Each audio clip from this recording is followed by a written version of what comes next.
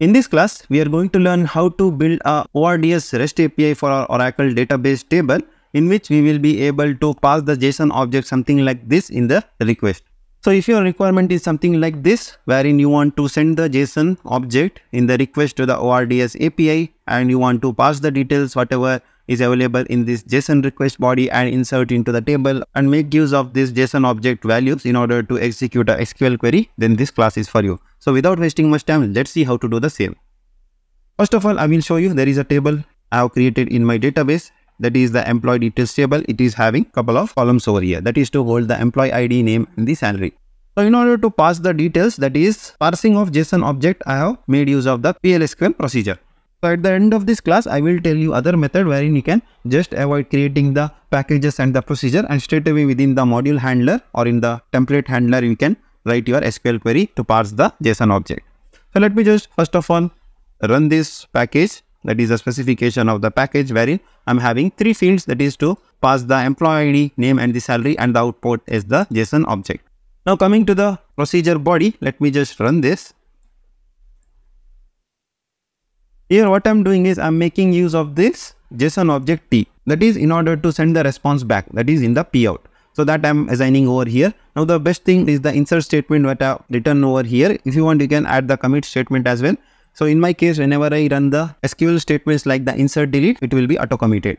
Here in the insert statement, I'm straight away referring to the input variable. Suppose if you want to assign to local variable and then map, we can do that as well.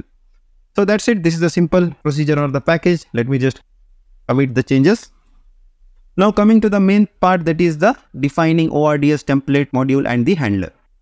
So this is the ORDS enabling schema part. So in this statement we are enabling the schema that is for the admin schema level over here in the database wherever I am having this table component. Same thing you can do by clicking over here and enabling the REST data services. All those things we had seen in our earlier classes, how to make use of SQL developer as well as the SQL developer web. And with the help of this GUI, that is graphical user interface, you can do the same like whatever I'm showing over here. Next coming defining the module. So this is the name of my module and this is the path. So same path I have given over here. That is the employee s2 slash insert. So insert is the template for us where I'm saying we have to insert the details into the database table so I'm making use of the PLSQL block. Suppose if you want to make use of the common block or you can use the SQL statement as well over here. Next coming to the source, I'm just calling my package or the procedure over here and in the request I'm passing the uh, details whatever we get in the JSON request that is like this employee ID name and the salary.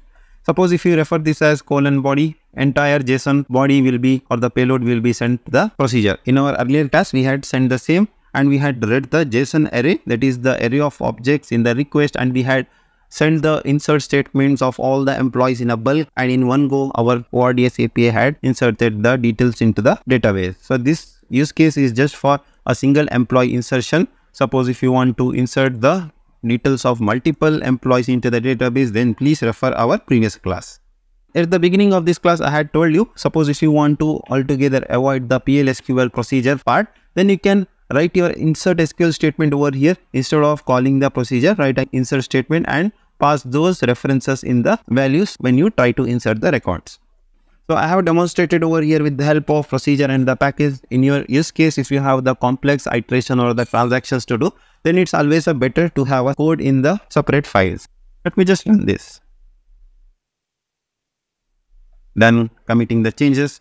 Now let me just run my insert object record so at that time, I don't have any records in my database table. Let me just see. Yeah. I'm clicking on this send button. And I'm getting the success message. So all those success messages is because of the PLSQL procedure in that I had hard-coded success as status in case of no errors. In case of error, we could see the error description and the error message. Let me just go back to this SQL query and run the query. Now here we will see 121 Raj 3 and the salary is null. Suppose if you give the salary, it will also reflect. So like this, we can read the JSON object detail and insert the details into the database table with the help of ORDS REST API. That is wherein we can send the JSON object as a request for our ORDS REST APIs.